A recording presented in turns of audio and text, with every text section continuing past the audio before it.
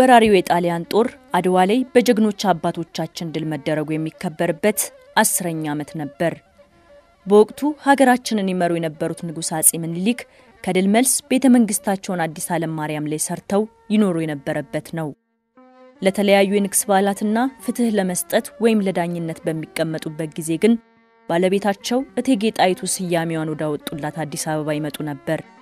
ለእነዚህ ጉዳዮች መጥተው ሹማምንቱንና መኳንንቱን ፈልገው ሲያስጠሯቸው የከሌ ዘመድ ስላረፉ ለቀብር ደብረ ሊባኖስ ሄደዋል፣ ለመመለስም ቀናት ይፈጅባቸዋል ይባላሉ። ይህ ነገር የተደጋገመባቸው ንጉሱ እዚሁ አዲስ አበባ በጻድቁ አቡነ ተክለ ሃይማኖት ስም ደብር መታነጽ እንዳለበት ከወቅቱ ሊቀ ጳጳስ አቡነ ማቴዎስ ግብፃዊ ጋር መክረው ይወስናሉ። ጉዳዩን ለባለቤታቸው ለብልኋ ንግሥት እቴጌ ጣይቱ ቢያዋዩቸው እኔ ሁልጊዜ ራእያ ያለው እመለከታለሁ፣ እንዲያውም እኔ አባቴን ከዚህ ብስም ደስ ይለኝ ነበር ሁልጊዜ መመኛቸዋለሁ ብለው በባላቸው ሀሳብ ይስማማሉ።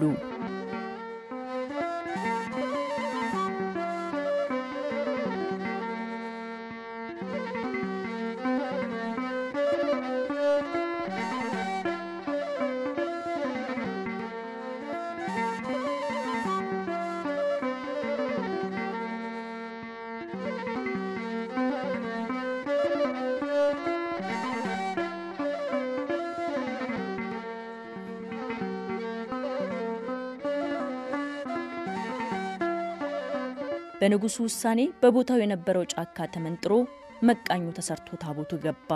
ሕዝቡም ሆነ መኳንንቱ ወደ ደብረ ሊባኖስ የሚሄደው የጻድቁ አቡነ ተክለ ሃይማኖትን በረከት ለማግኘት ስለሆነ ከፈጣሪ ዘንድ ለአባታችን አቡነ ተክለ ሃይማኖት ቃል ኪዳን ከተሰጠበትና አጽማቸው ካረፈበት ከደብረ ሊባኖስ አፈር በአጋስስ ተጭኖ በቤተ ክርስቲያኑ ዙሪያ እንዲነሰነስም ተደርጓል።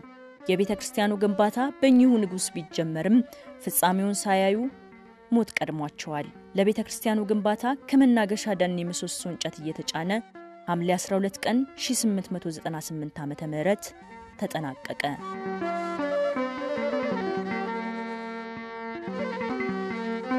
ደብሩ አሁን በአዲስ አበባ ሀገረ ስብከት ስር ከሚገኙ ጥንታዊ አድባራትና ገዳማት መካከል የሚገኝ ሲሆን ከጥንታዊነቱም የተነሳ ለቦታው ብቻ የተቀመረ በሌሎች ቦታዎች ላይ የማይገኝ የራሱ የሆነ ወረብ አለው።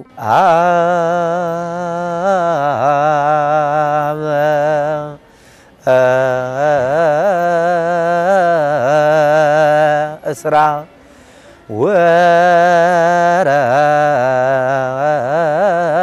ወረብኡ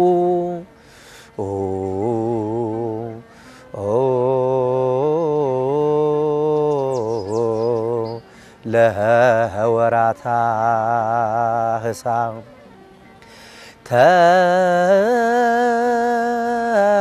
ተክለ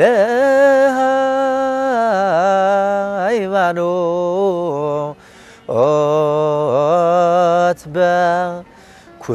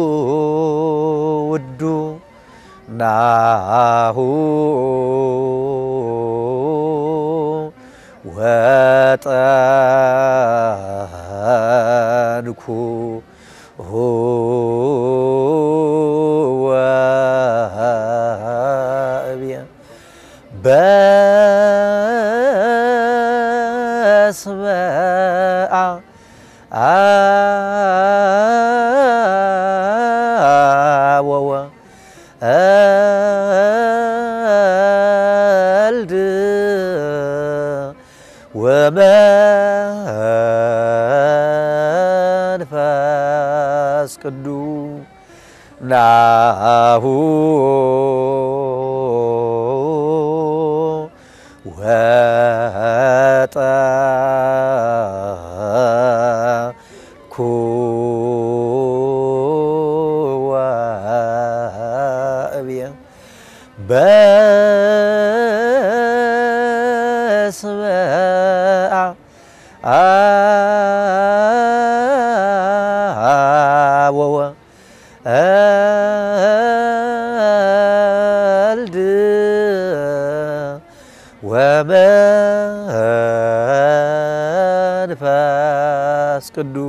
የቤተ ክርስቲያኑ ግንባታ በንጉሥ አጼ ምኒልክ ተጀምሮ በልጅ ኢያሱ ዘመነ መንግስት ይጠናቀቃል ተብሎ ቢጠበቅም ዘግይቶ በንግሥተ ነገሥታት ዘውዲቱ ምኒልክ ዘመን ሊጠናቀቅ ችሏል።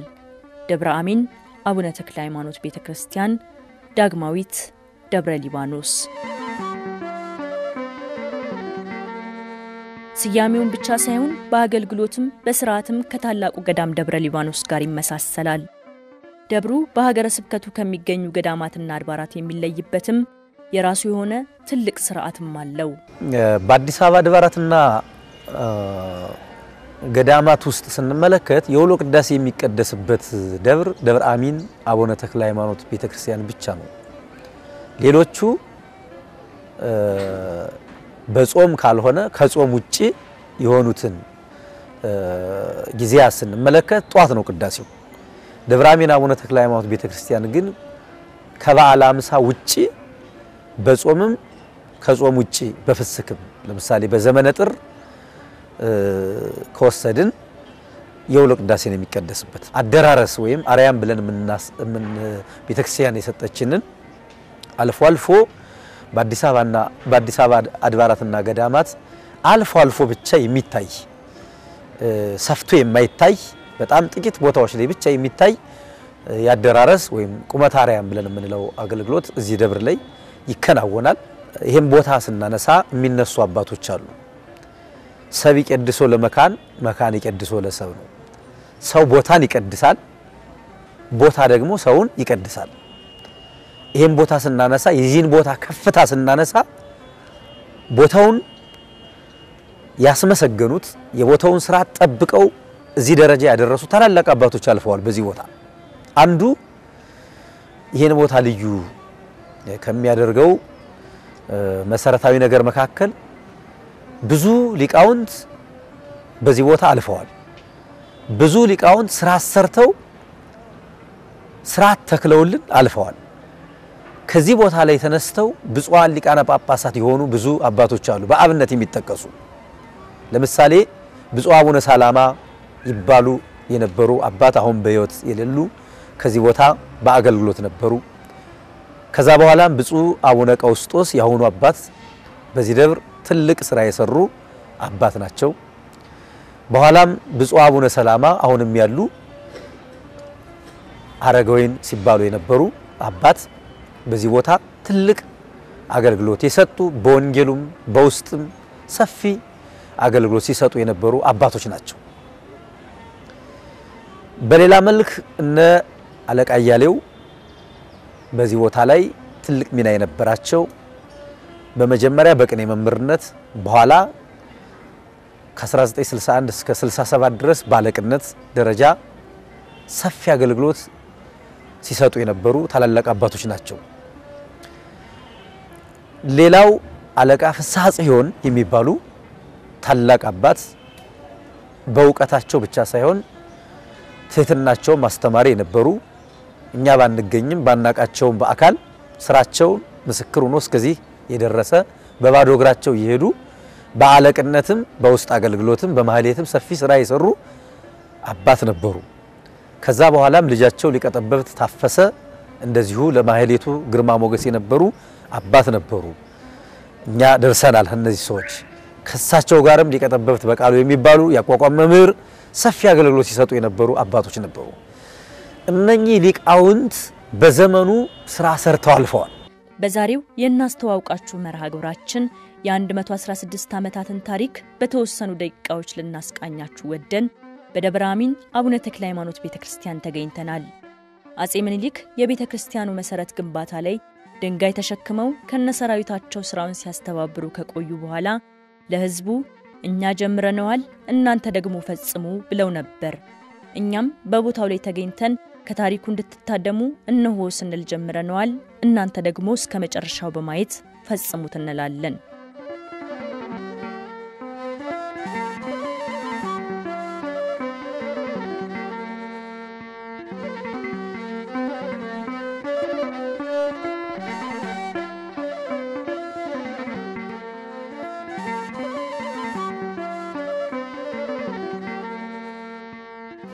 ጤና ይስጥልን። እንደምን ዋሉ? እግዚአብሔር ይመስገን። እንግዲህ የመጣ ነው የዚህን ደብር ታሪክ ለማወቅ ተመልካቾቻችንንም ለማሳወቅ ነው እና የት ነው ያለነው? ምንድን ነው ታሪኩ ምንድን ነው የሚለውን እስኪ ማብራሪያ እንግዲህ ይህ ቦታ ደብረ አሚን ተክለ ሃይማኖት ቤተክርስቲያን ተብሎ ይጠራል። በአሁኑ ሰዓት ቤተክርስቲያኑ የተሰራበት ቦታ ቤተክርስቲያኑ ከመመስረቱ ወይም ደግሞ ከመሰራቱ በፊት ይህ ቦታ እንደምናየው ጫካና የአራዊት መኖሪያ የብዙ መናንያን ቦታ ነበረ። በ1886 ዓመተ ምህረት በአጋጣሚ ሆኖ አጼ ሚኒሊክ ወደዚህ ቦታ መጥተው በወቅቱ የነበሩትን ገዢዎችና ወይም አስተዳዳሪዎች ፈልገው ለማነጋገር ሲመጡ በአጋጣሚ እነዛ መኳንንቱና ነገስታቱ ሰው ለማስቀበር ወደ ደብረ ሊባኖስ ገዳም ሄደው ነበረ። በዛ ሰዓት ምንም አይነት ትራንስፖርት የለም። ሰው ሄዶ የሚመጣው እስከ አምስት ቀን እስከ ስድስት ቀን በእግሩ ነበረ። ያንን ታሳቢ በማድረግ የሰውንም ድካም ታሳቢ በማድረግ ለምን እዚህ ቦታ ላይ ደብረ አሚን ተክለ ሃይማኖት ቤተክርስቲያን አይመሰረትም የሚል ሀሳብ መጣና ከዛ ተነስተው ይህንን ለመኳንንቱና ለነገስታቱ ካማከሩ በኋላ ይህ ቦታ ተስተካክሎ የተክለ ሃይማኖት ቤተክርስቲያን እንዲሰራ ተደረገ። ከመሰራቱ በፊት ከደብረ ሊባኖስ ገዳም አፈሩ መጥቶ ቅድሚያ ከተነሰነሰ በኋላ በአካባቢው ገዢ ለነበሩት ለንጉሥ ወልደ ጊዮርጊስና ለልጅ ኢያሱ አጼ ሚኒሊክ በኃላፊነት ወስደው ስራው እንዲያሰሩ መመሪያ ከሰጡ በኋላ የስራ ሁኔታ እንዲጀመር ተደርጓል። በመቀጠል ታቦተ ሕጉን አመጣጥ በተመለከተ የተክለ ሃይማኖት ጽላት የት ይገኛል የሚለውን ሀሳብ በስብሰባ ከተነጋገሩ በኋላ በአንድ አባት አሳሳቢነት የተክለ ሃይማኖት ጽላት በደብረ ጽጌ ቅዱስ ዑራኤል ቤተ ክርስቲያን የሚገኝ መሆኑ ስለተገለጸ የአባታችን የአቡነ ተክለ ሃይማኖት ጽላት ከዛ ከደብረ ጽጌ ቅዱስ ዑራኤል ቤተ ክርስቲያን መጥቶ በዚህ ደብር እንዲገባ ተደርጎ በዚህ ሁኔታ የቤተ ክርስቲያኑ አመሰራት ሊከናወን ችሏል። መልካም እሺ፣ እንደው ቦታው ጫካ ነበር፣ የአራዊት መኖሪያ ነበር ብለውናል እና ቅድም ስንጀምር እንደው ይሄ ቦታ እንዴት ተመረጠ? ይህንን ቤተክርስቲያን ለመገንባት እንዴት አሰቡት? ንጉሱስ ቢሆን እንግዲህ ከዛ ፊት ቀደም ሲል እንደገለጽኩት የመናንያን የአራዊት መኖሪያ ነበረ። በመልካ ተክለ ሃይማኖት ላይ እንደተገለጸው ሰላም ለመከየድ ከውስተ ደብረ አሚን ለጌሳ ገጸ ማርያም ወልዳን ዛስሳ ተክለ ሃይማኖትንስ ሮዛ ቅለ ገዳም አንበሳ በቅድሜ ከትክበር እግዚኦ ለደብረ ሊባኖስ ሞገሳ ከመቅድሜ ኤልያስ ክብረ ርእሶሙ ለሀምሳ የሚባል በመልካቸው ላይ የተገለጸ አለ። ይህን ደራሲው የደረሰው ነው። ከዛ ታሳቢ በማድረግና ቦታውን ተክለ ሃይማኖት በአካለ ስጋ እየመጡ ሁልጊዜ ይዞሩት ነበረ። ያንን እንግዲህ በመንፈስ ቅዱስ እየዞሩ እየታየ ያንን ደራሲውም ይህንን በዛ ምክንያት ነው የገለጸው። ያንን ታሳቢ በማድረግ ለአጼ ሚኒሊክም በህልም በራእይ ይታያቸው ነበረ ስለ ቦታው በዚህ ቦታ ላይ ተክለ ሃይማኖት እንደሚመሰረቱና ከዛ በመነሳት ነው ይህ ሊሆን የቻለው ሊመሰረት የቻለው ቤተ ክርስቲያኑ። መልካም እሺ፣ እንግዲህ ይህን ያህል ከነገሩን ታሪኩን ህንጻ ቤተ ክርስቲያኑን በተመለከተ ያሳዩን እስኪ እየዞሩ እሺ። ይህ እንግዲህ እንደምናውቀው ቅድሚያ መቃኙ የተሰራው በዚህኛው በኩል ነበረ። ቀደም ሲል እንደገለጽኩት ይህን ቦታ ልጅ ኢያሱና ንጉሥ ወልደ ጊዮርጊስ ኃላፊነት ወስደው ይህ የምናያቸውን እንጨቶች ውስጥም ገብተን እናያለን። ከመናገሻ ውስጥ ነው የመጣው። ደኖቹ እየተቆረጡ ቤተ ክርስቲያኑ የተሰራው በአሁኑ ወቅት የምናየው ቤተ ክርስቲያን ምንም አይነት ሲሚንቶ የለውም። በአሸዋና በድንጋይ ብቻ ነው የተሰራው። እንግዲህ አሁን ከተመሰረተ 116 ዓመት ሆኖቷል። ይህ የምናየው 116 ዓመት ቤተ ክርስቲያን ምንም አይነት ሲሚንቶ ያልገባበትና በአሸዋና በሲሚንቶ ብቻ ነው የተሰራው። እንጨቶቹም የምናያቸው ናቸው። ውበታቸውን ጠብቀው የተሰሩ ናቸው ማለት ነው። በእንደዚህ አይነት ሁኔታ ነው የተሰራው። መልካም እሺ። እንግዲህ ጣሪያውን ሳየው የተለየ ነውና ከምንድን ነው የተሰራው? በምንድን ነው የተያያዘው? አሁን ዘመናዊ አሰራሮችን የተከተለ አይደለምና ምንድን ነው በምንድን ነው የተቋጠረው? እንግዲህ ይህ የምናየው በጠፍር በሳር የተሰራ ጥንታዊነቱን ጠብቆ የኖረ ነው። 116 ዓመቱ ነው። በጠፍርና በሳሮች ናቸው የተሰሩት። እንጨቶቹም ቀደም ሲል እንደገለጽኩት ከመናገሻ ደን በተሰራው እንጨቶች የተሰራውና ይህ የምናየው ዙሪያ ውስጡም የውጭውም ክፍል በሳርና በጠፍር ተሰርጎ የተሰራ ነው እና ይህ ከጥንታውያን ቤተክርስቲያናት አንዱ ለመሆን በቅቷል ማለት ነው። በእንደዚህ አይነት ሁኔታና ከጠፍርና ከሳር ብቻ ነው የተሰራው ጣሪያው ዙሪያው በሙሉ። አጼ ምኒልክ በመሀል ላይ ያረፉ። ቀጥሎ አደራ ብሏቸው ታቦተ ሕጉን ከደብረ ጽጌ ቅዱስ ዑራኤል ቤተክርስቲያን ይዘው የመጡት ንግስተ ነገስታት ዘውዲቱ ምኒልክና ግብፃዊ ብፁዕ አቡነ ማቴዎስ ናቸው። እንግዲህ የውጭውን ገጽታ በዚህ መንገድ ካሳዩን ውስጡን ደግሞ ቅዱሳን ስዕላቱን እንዲያሳዩን እርስዎ በወንዶች ይግቡ፣ እኔ በሴቶች ልምጣ። እሺ።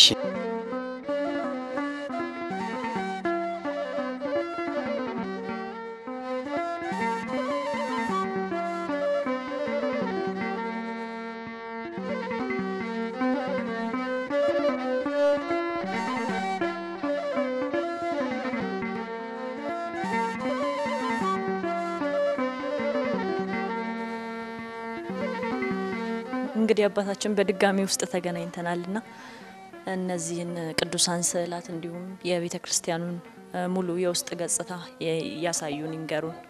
እሺ እንግዲህ የውስጥ የቤተ ክርስቲያን ውስጥ ክፍል ሲሆን ይህ የምናየው የቤተ መቅደስ ይባላል። ይህ አሁን የቆምንበት ደግሞ ቅድስ ሲባል፣ በታችኛው በኩል ያለው ደግሞ የቅኔ ማህሌት ይባላል። ይህ የምናየው ቅዱሳት ስዕል በ1908 የተሳሉ ሲሆን ስዕሎቹ ከዛ ጊዜ ጀምሮ ምንም አይነት ጥገናና እድሳት አልተደረገላቸውም። ውበታቸውና ጥራታቸውን ይዘው እንደጠበቁ ነው ያሉት። ይሄ በቤተ መቅደሱ ላይ የምናየው ከላይ ከውጭ እንደገለጽኩት በ1980 ዓመተ ምህረት የተቀጠለ ነው። ኮርኒሶቹ ደግሞ በኋላ ላይ በ1980 ዓመተ ምህረት የተሰሩ ናቸው ማለት ነው። ቅኔ ማህሌቱ ዙሪያ ያሉ በሮችና መስኮቶች ቅርጻቸውን ይዘው የተሰሩ ሲሆን ቅርጻቸውና ይዘታቸውን የሰሩት አርመኖችና ህንዶች ናቸው ማለት ነው። መልካም። እንደው እነዚህን ቅዱሳን ስዕላት የሳሏቸው ሰዓሊዎች ይታወቃሉ ወይስ? አዎ እኛም ብዙ ጥረት አድርገን ነበረ። ሰዓሊውን ልናገኘው አልቻልንም። ያገኘነው ዶክመንት የተሳለበትን ዓመተ ምህረት ብቻ ነው እና ሰዓሊውን ልናገኘው አልቻልንም። በማን እንደተሳለ ልናገኝ አልቻልንም። ቅድም እዚህ ጋር የተቀጠለው ነው ብለውኛል እና ከሀረጉ በላይ ያለው ነው የተቀጠለው አይደለ? ያው እስቲ በምን ምክንያት እንደሆነ ይህ የምናየው በዚህ በቅዱሱ በቤተ መቅደሱና በቅዱስ ዙሪያ ላይ የተሳለው የተቀጠለው ቤተ ክርስቲያኑ ሲሰራ ከታች ወጥነቱን ይዞ የተሰራ ሲሆን ለአገልግሎት ብርሃን ባለመስጠቱ ለአገልግሎት ተቸገርን። በመቸገሩ በወቅቱ የነበሩት አባ ዘካርያስ አሁን አቡነ ቀውስጦስ ባለሙያ አምጥተው እድሳት ኮሚቴ አዋቅረው ከላይ የምናየውን እነዚህ ሶስት መስኮቶችና በዚህ በቅድስቱ በኩል ያሉትን ቅጥያዎች በ1980 ዓ ም ሊቀጠሉ ችለዋል እና ሊቀጠሉ የቻሉት ብርሃን ባለማግኘታቸው ምክንያት ነው። ይህ ከሀረጉ በላይ ያሉትና በወዲህ በኩል ደግሞ የሚታየው እዚህ ቅርጽ ያለው እነሱ ናቸው የተቀጠሉት ማለት ነው። እንግዲህ ሲሰራ ይሄ ኮርኒሱም አዲስ ለውጥ ተደርጎለታል ማለት ነው። በበረንዳውና በቅኔ ማህሌቱ ዙሪያ ያለው ግን ቤተ ክርስቲያኑ ሲሰራ ጀምሮ ምንም አይነት የኮርኒስን ወይም ደግሞ የጣሪያ ከውስጥ ያለው ጣሪያ ለውጥ አልተደረገበትም ማለት ይህ የምናየው ጣሪያ ቤተ ክርስቲያኑ ሲሰራ ጀምሮ እስካሁን ድረስ ያለ ነው። ውበትና ቅርጹን ይዞ ጠብቆ ያለ ነው። እምናያቸው በሳር እና በጠፍር ያሉ ናቸው። እንጨቶቹም እስካሁን ድረስ ምንም አይነት ለውጥ ሳይደረግባቸው የነበሩ ናቸው። ይህ እንግዲህ አሁን የምናየው ጣሪያው ከበረንዳው ጋር ተመሳሳይነት አለው። መቶ 16 ዓመት ሆኖታል ማለት ነው። እስካሁን ድረስ ከቀለም ቅብ ውጪ ምንም አይነት ጥገና አልተደረገለትም። እንጨቶችም እስካሁን ድረስ የተቀየሩ ምንም አይነት እንጨቶችም ሆነ የሳሩ እስራት ያለው እስካሁን ድረስ ሊለወጥ አልቻለም ማለት ነው። እስካሁን ድረስ በ116 ዓመት ድረስ የምናየው ይህ ውበቱና ይዘቱን ጠብቆ ያለ ጣሪያ ነው ማለት ነው። ይህ የምናያቸው በሮች እንግዲህ ቀደም ሲል እንደተገለጸው ምንም አይነት ለውጥ አልተደረገም። ከቀለም ቅብ ውጪ መስኮቶቹም በሮቹም እስካሁን ድረስ ያሉ ከቤተ ክርስቲያኑ ጋር አብሮ የተሰሩ ናቸው። እነዚህ የምናያቸው ጌጣጌጦች በዚህ ዙሪያ ላይ በቅድስቱ ዙሪያ ላይ ያሉት እነዚህ ስራዎች በአርመኖችና በህንዶች የተሰሩና የተጌጡ ናቸው። ስራዎቹም ከመጀመሪያው ጀምሮ ቤተ ክርስቲያኑ ሲሰራ ጀምሮ እንደተሰሩ ናቸው። ምንም ለውጥ አልተደረገም። እንጨቶቹም የምናያቸው ናቸው ማለት ነው። ለቤተ ክርስቲያኑ ስንት ጊዜ እድሳት ተደርጎለታል ከዚህ በፊት? እንግዲህ ቤተ ክርስቲያኑ ሲመሰረት በመጀመሪያ ጣሪያው ሳር ነበረ፣ ቆርቆሮ አንዴ ተደርጓል። ከዛ በኋላ ወጥ ስራና ሙሉ እድሳት የተደረገለት በ1980 ዓመተ ምህረት ነው ማለት ነው። ከዛ ወዲህ የቀለም ቅብ አንዴ ተደርጓል። አሁን ደግሞ አንዳንድ ቦታ ላይ ትንሽ ክራክ እየፈጠሩና ክፍተት እየፈጠረ ስለሆነ በባለሙያ ታይቶና ተጠንቶ ሙሉ ጥገና እንደሚያስፈልገው ታምኖበታል። ይህ ጥገናው ሲደረግ ግን ውበትና ይዘቱን ቅርጹን ሳይለውጥ ሙሉ እድሳት ለማድረግ ቅድመ ዝግጅት የተደረገ ነው ማለት ነው እንጂ ከ1980 ዓ.ም ጀምሮ ከቀለም ቅብ ውጪ ምንም አይነት ጥገናና እድሳት አልተደረገለትም። የተከበራችሁ ተመልካቾቻችን እንግዲህ ውስጡን በዚህ መልኩ አይተናል። ወደ ውጭ ደግሞ ሄድ ብለን ከነገስታት የተበረከቱ ስጦታዎች እንዲሁም በደብሩ ያሉ የተለያዩ ንዋያተ ቅድሳትን የምናገኝበት እቃ ቤት አለና እዛ እንገናኛለን ማለት ነው።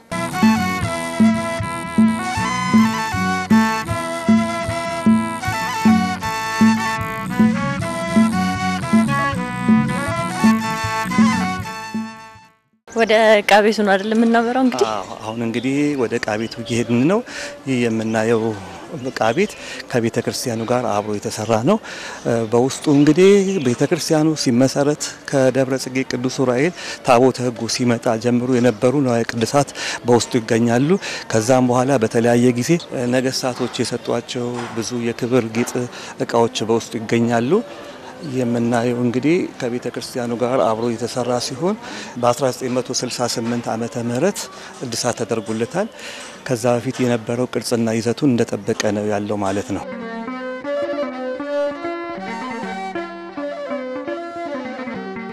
የምናየው የእቃ ቤቱ የላይኛው ክፍል ይባላል። በውስጡ የሚገኙት የከበሩ ንዋየ ቅድሳት ሲሆኑ ከቤተ ክርስቲያኑ አመሰራረት ጀምሮ እስካሁን ድረስ ብዙ ጥንታውያን ብራና መጽሐፍቶች፣ የተለያዩ የነገስታት ዘውዶች ይገኙበታል። ወደ ውስጥ የማይገባው በተፈቀደ ስልጣነ ክህነት ለሌላቸው ሰዎች መግባት አይፈቀድም። የተለያዩ የከበሩ ንዋየ ቅድሳት ስለሚገኙ ማለት ሲሆን በተለያየ ጊዜ ከመጡት የተለያዩ የከበሩ ንዋየ ቅድሳት ከነገስታት ይሰጡ አሉ። ከእነሱ መካከል የተወሰኑትን ለማየት እንሞክራለን ማለት ነው።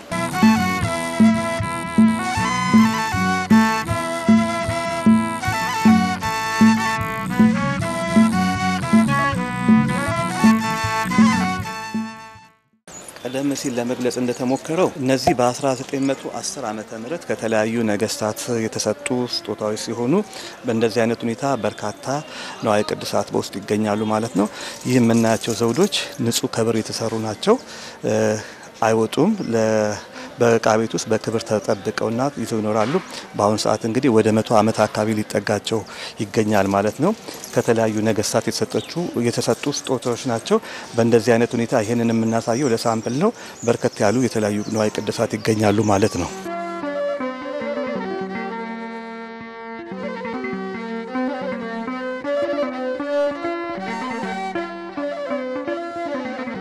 የድባብ ጥላ ሲሆን መርገፎቹ ከብር የተሰሩ ናቸው። ቀደም ሲል ከታቦተ ሕጉ አመሰራረት ጀምሮ እስካሁን ድረስ ያለ ነው። በጥንቃቄና በንጽህና ስለተያዘ ጥራትና ውበቱን ይዞ ጠብቆ እስካሁን ድረስ ይኖራል ማለት ነው። በእንደዚህ አይነት ሁኔታ የተለያዩ ከብር መያዣቸውና እጀታቸው ሙሉ በሙሉ ከብር የተሰሩ ዣንጥላዎች ይገኛሉ። እነዛ ዣንጥላዎች ታቦተ ሕጉ ከደብረ ጽጌ ቅዱስ ዑራኤል በ1898 ሲመጣ እነ ንግስት ንግስታት ዘውዲቱ ምኒልክ ሌሎችም እነ ልጅ ኢያሱና እነ አጼ ምኒልክ የሰጧቸው የተለያዩ ጥላዎች በውስጥ ይገኛሉ ማለት ነው። ይህ ከብዙ በጥቂቱ አንዱ ነው ማለት ነው።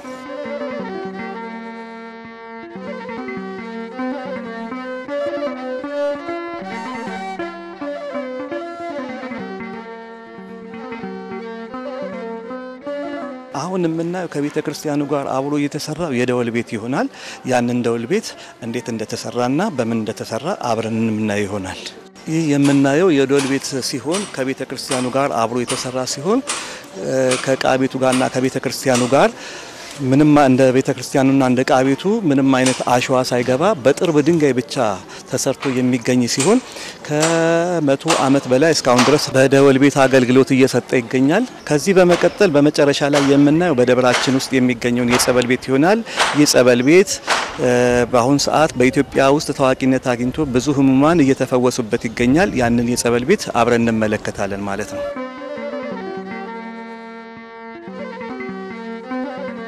ወደ ጸበል ቤቱ ከመሄዳችን በፊት ግን ቤተ ክርስቲያን ስትሰራ ቤተ ክርስቲያን፣ ጸበል፣ ደውል ቤት፣ ቤተልሔም እና ደጅ ሰላም ይሰራሉ።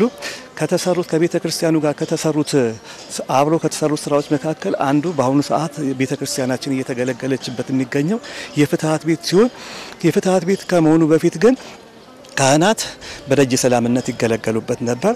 በአሁኑ ወቅት ግን በፍትሐት ቤት አገልግሎት እየሰጠ ይገኛል ማለት ነው። ቤተ ክርስቲያኑ ሲሰራ የተሰራ ሲሆን እስካሁን ድረስ ቅርጽና ይዘቱን ጠብቆ ይገኛል። ከቀለም ቅብ ውጭ ምንም አይነት ጥገናና እድሳት አልተደረገለትም። የፍትሐት ቤት ይህንን ይመስላል ማለት ነው።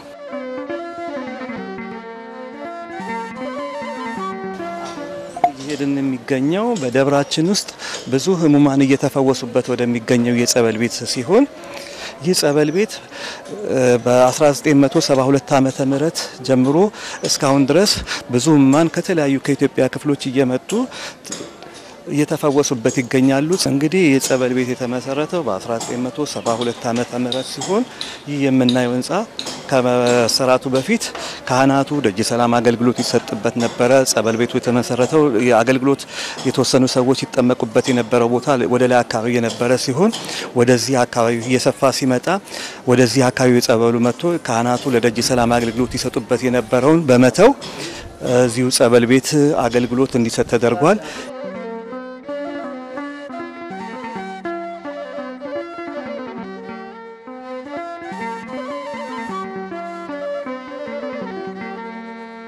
እና ወደ ውስጥ እየገባን ስናየው ደግሞ ወደዚህ ወደ ላይ ያለው ካህናቶች አገልግሎት ጸሎት የሚያደርሱበት ሲሆን በታች በኩል ደግሞ የወንድና የሴት የጸበል መጠመቂያ ለሁለት ተከፍሎ ይገኛል። ወደ ደረጃው ላይ የሚወጡት አገልግሎት የሚሰጡ ካህናት ብቻ ሲሆኑ ላይ ሆነው የሚፈለገውን አገልግሎት ከሰጡ በኋላ በዛ በኩል የካህናቱ መውጫ አለ፣ በዛ ይወጣሉ ማለት ነው።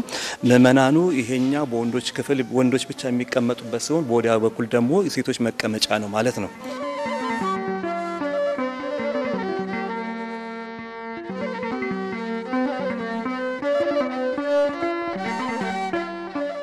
ወንዶች ብቻ እየገቡበት የሚጠመቁበት የጸበል መጠመቂያ ክፍል ሲሆን በወዲያኛው ክፍል ደግሞ ሴቶች ብቻ እየገቡ የሚጠመቁበት የሴቶች መጠመቂያ ክፍል ማለት ነው። ይሄ ቁጭ ብሎ ተራቸውን የሚጠብቁበት ቦታ ነው። አዎ እንግዲህ አንድ ተጠማቂ ሲመጣ እዛ ጋር የጸበል መመዝገቢያ አለ፣ የመዝጋቢዎች አሉ፣ ይመዘግባሉ። ከመዘገቡ በኋላ እንደ ቅደም ተከተላቸው ስማቸው እየተጠራ ወንዶቹ በዚህ ሴቶቹ በዛ ይገባሉ ማለት ነው። ሁሉም ሰው ሲመጣ እየተመዘገበ ይጠመቃል ማለት ነው። ከክፍለ ሀገርና ከተለያዩ ቦታዎች የሚመጡና እንዲሁም ደግሞ በደዌ ዳኛ ተይዘው የታሰሩ የተለያየ የመንፈስ ችግር ያለባቸው ደግሞ ያለምንም ክፍያ ተኝተው አገልግሎት የሚያገኙበት የተለያዩ ክፍሎች አሉ ማለት ነው። እነዛን ክፍሎች ማየት እንችላለን ሄደን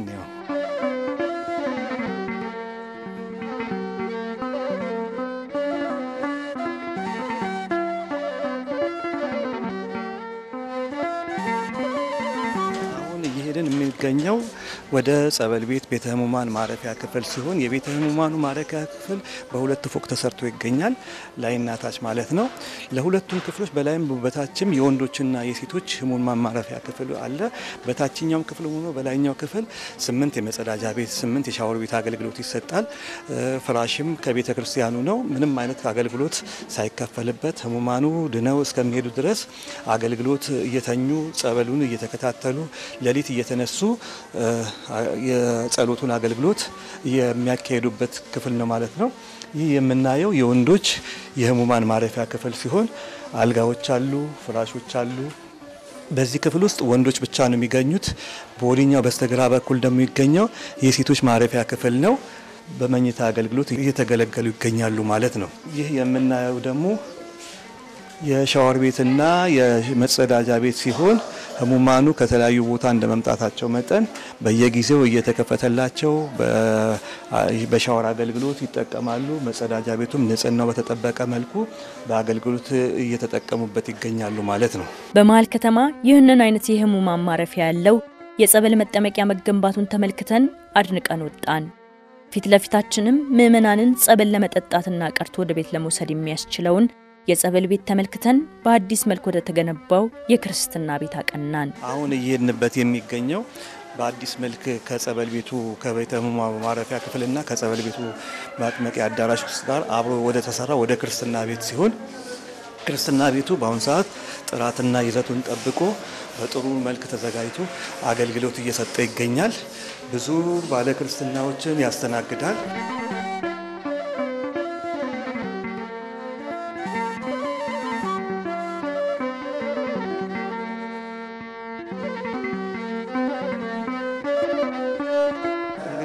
የክርስትና ቤቱ ይህን ይመስላል።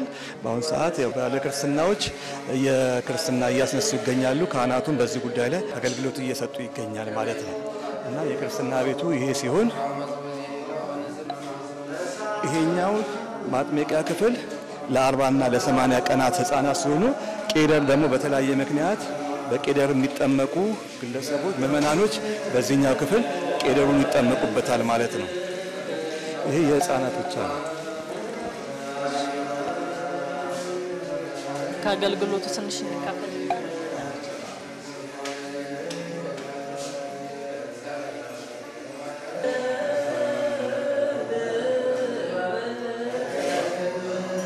ከአገልግሎቱ ትንሽ ተካፍለን በቅጥረ ግቢ ውስጥ የነበረንን ቆይታ ለመደምደምና ለመሰነባበትም ቆማልን። የቤተ ክርስቲያናችን ታሪክና መሰራረትና እንዲሁም በውስጡ ስለሚገኙት የተለያዩ መንፈሳዊ አገልግሎት በሚሰጡ ቦታዎች ላይ ከማህበረ ቅዱሳን አገልግሎት መጥታችሁ ለጠየቃችሁን ጥያቄ ከልብ እናመሰግናለን። እግዚአብሔር እድሜና ጤና ይስጥልን በማለት እናመሰግናለን። አሜን። እሺ፣ እኛም እንግዲህ ጊዜያችሁን ሰጥታችሁን የ116 ዓመት ታሪክ ስላሳያችሁን በተመልካቾቻችን ስም በጣም አድርገን እናመሰግናለን። እግዚአብሔር ይስጥልን፣ እግዚአብሔር ያክብርልን።